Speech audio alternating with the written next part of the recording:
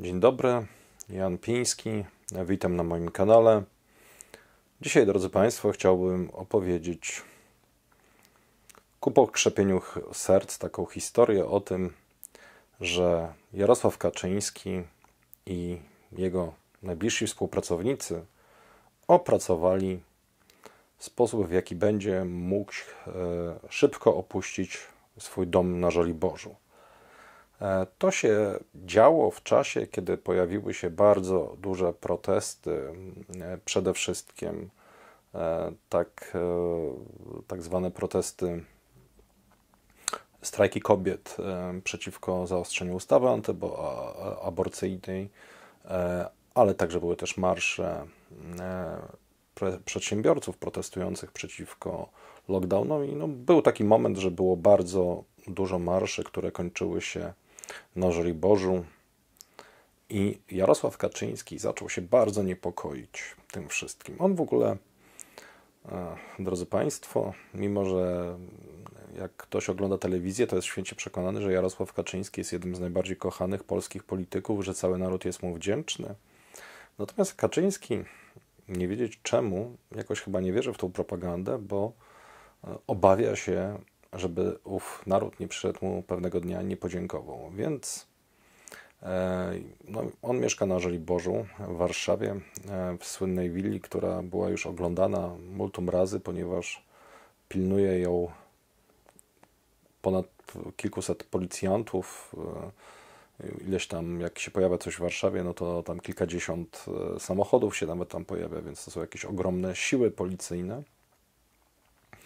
Więc wymyślono taką hmm, e, taktykę, że jeżeli dojdzie do sytuacji takiej, że trzeba będzie Jarosława Kaczyńskiego z domu ewakuować, ochraniające go służby hmm, rozniecą coś na kształt e, e dymu, tak, że będzie to nie wiadomo, czy to będzie dym, czy to będzie jakiś ogień, i pojawia się straż pożarna, i właśnie tym wozem Straży Pożarnej ze swojego domu wyjedzie Jarosław Kaczyński, być może też w przebraniu w kurtce strażackiej.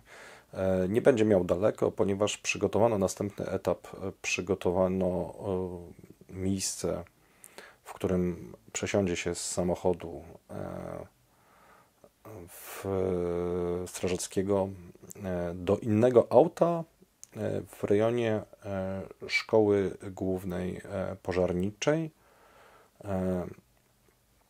Tam też jest specjalne mieszkanie, w którym ewentualnie mógłby spędzić trochę czasu. Natomiast jeżeli nie, no to wyrusza właśnie z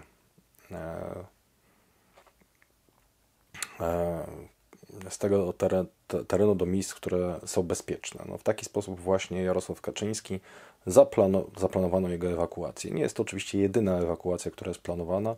Standardowo oczywiście polskie służby na wypadek konfliktów zbrojnych i e, dość realnie zdaje się oceniając e, stan polskiej armii pod swoimi rządami, e, koncentrują się nie, tyl, nie tyle na tym, żeby e, być przekonanym, iż polskie wojsko kogoś obroni, tylko trenują e, wyjazd najważniejszych e, urzędników, e, w tym właśnie Jarosława Kaczyńskiego z Polski.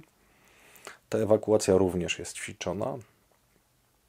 W tym wypadku Kaczyński jest traktowany jako jedna z najważniejszych, o ile nie najważniejsza osoba, nawet ważniejsza niż prezydent tak to jest przynajmniej robione w sposób nieformalny. E, Kaczyński e, ma też przygotowaną swoją własną prywatną listę e, osób, które chce, żeby ewakuować razem z nim, chociaż nie łapią się na tą tak zwaną erkę rządową, która podlega ochronie. To też jest ciekawe. Również trenowano ostatnimi czasy, ile wynosi przejazd tych zespołów, które zbierają tych e, ludzi, którym, na których bezpieczeństwu zależy Jarosławowi Kaczyńskiemu. Co ciekawe, moi rozmówcy zaznaczali, że lista Kaczyńskiego jest, e, ma być traktowana bardziej priorytetowo niż to lista osób, że tak powiem, z rozdzielnika i funkcji uprawnionych do ewakuacji. To oczywiście nie wszystko. Szkoła Główna Pożarnictwa to nie jest jedyny punkt ewakuacyjny w oku Jarosława Kaczyńskiego. W 2016 roku rozpoczęto budowę nowego schronu. Dokładnie był to, rozpoczął ten schron budowę Antoni Macierewicz w e, zabytkowej e, Cytadeli.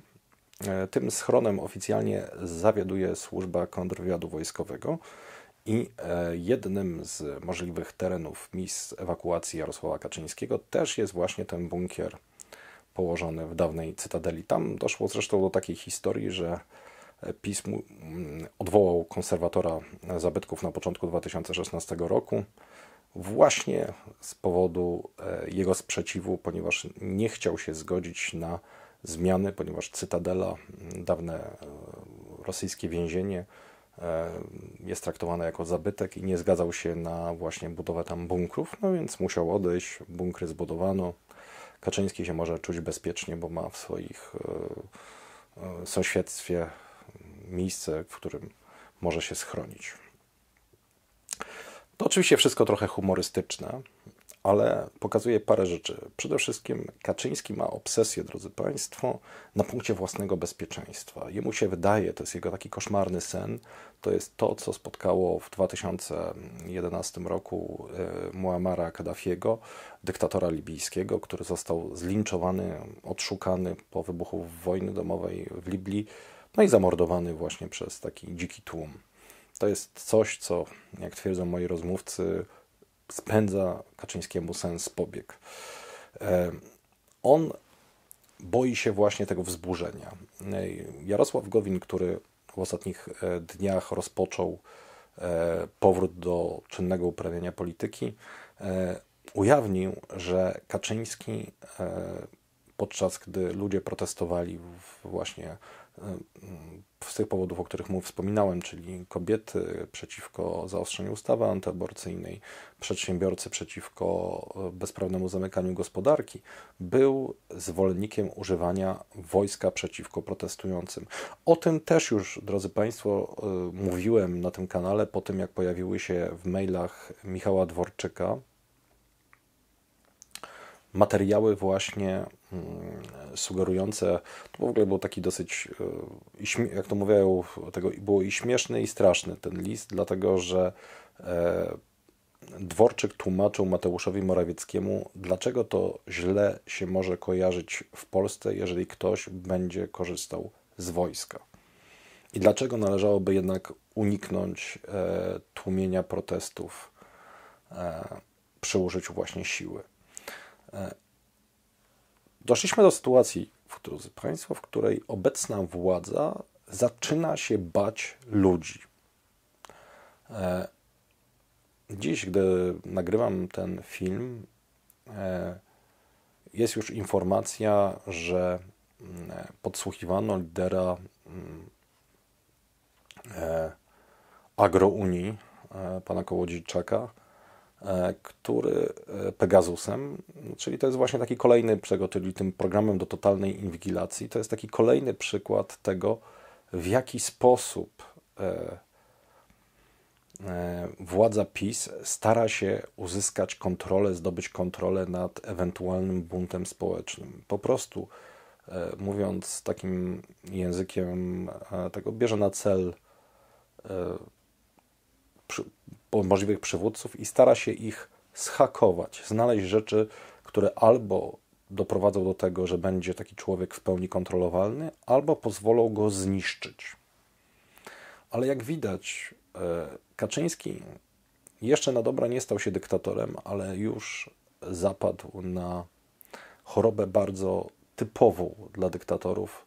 To jest taka podejrzliwość, to jest strach przed ludźmi.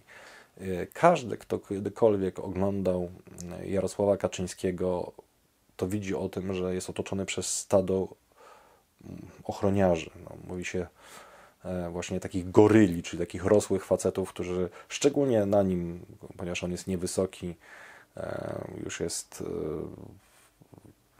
starszym człowiekiem, po prostu to wygląda taki mały człowiek i taki stado ludzi, to po prostu tego, on się boi ludzi po prostu.